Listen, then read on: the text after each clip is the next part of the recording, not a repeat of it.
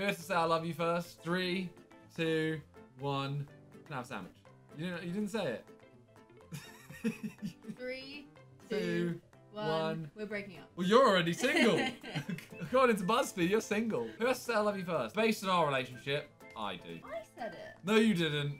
I kind of did. Cap. No, I did. Cap. You know it's Cap as well. No. That's why you said I you, kind of you, did. because you said it first. Exactly. There you. But I don't even remember? I accidentally sent that message. Yeah, but I was like, no, I don't. I said it in a message, and then I was like, A message don't count. I know, and then I was like, oh my god, I can't believe I just said Yeah, that doesn't count.